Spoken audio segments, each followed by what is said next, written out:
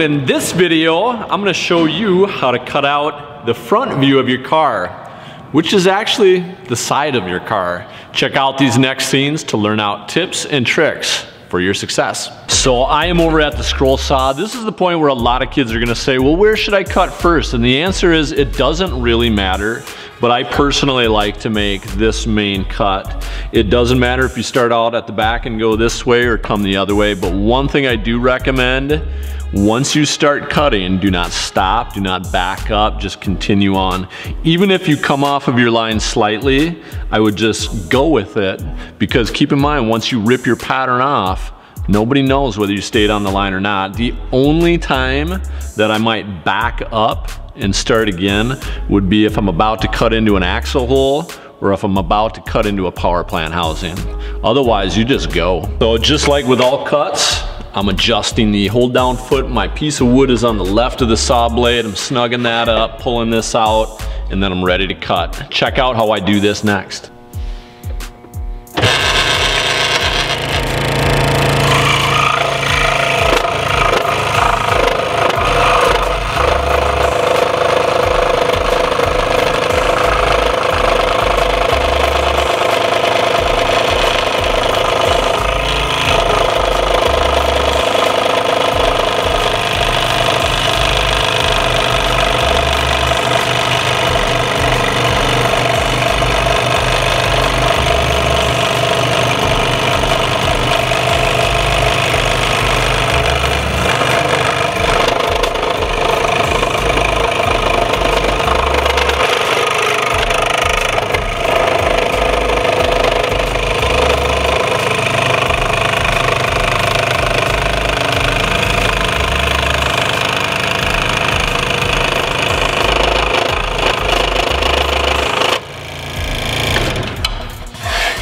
right, so if you check this out, my car is finally starting to look like a car. Just a little side note, I don't throw this away until I'm done with my car. That way, if I discover I've made something illegal, you're just a little bit of wood glue away from being back to the starting point. So hold on to these things until the very end. So the next thing is decision time.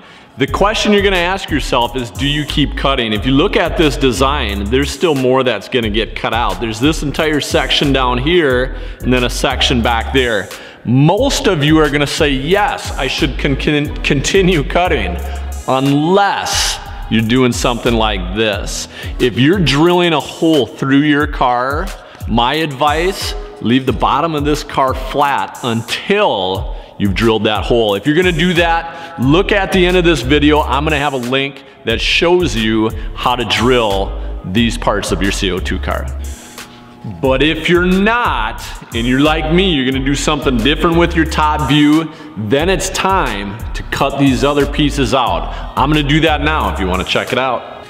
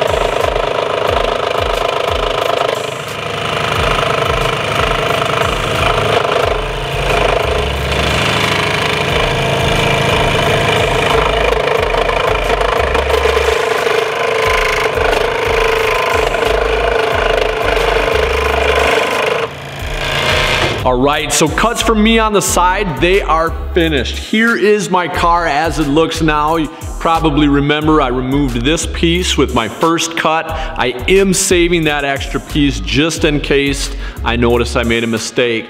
I recently just cut that piece off and that piece. I now have what I'm calling a completed side view.